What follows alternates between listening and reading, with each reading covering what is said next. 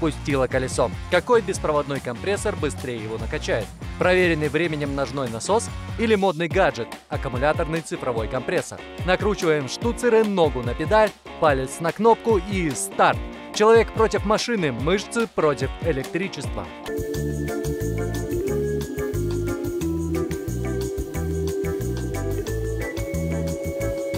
Финиш победа достается человеку. Всего 4 минуты работы ногой и колесо накачано. О нет, опять